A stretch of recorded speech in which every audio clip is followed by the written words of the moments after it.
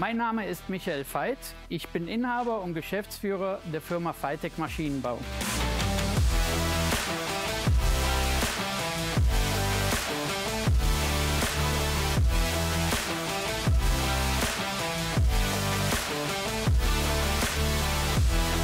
Wir fertigen CNC-Dreh- und Frästeile in Lohnfertigung von einfachsten Teilen bis hochkomplexen Bearbeitungsteilen.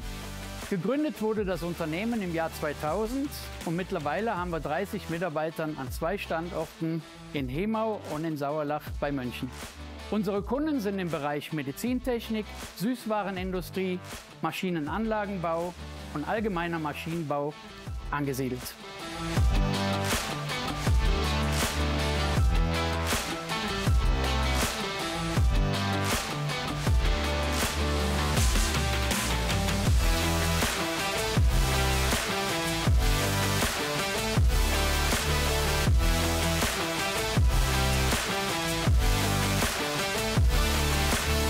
Unsere erste Dreiachs-Hoko-Maschine haben wir im Jahr 2006 angeschafft und die erste Fünfachs-Maschine kam dann 2015.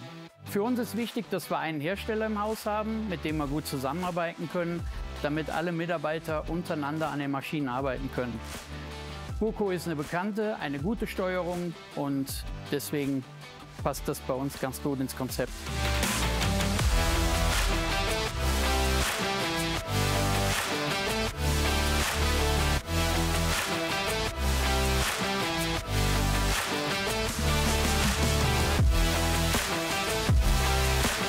Wir haben 2006 in die erste gebrauchte Hoko-Maschine investiert und wie man sehen kann, die Halle ist voll, hat sich seit 2006 viel entwickelt und wir sind hochzufrieden mit Hoko.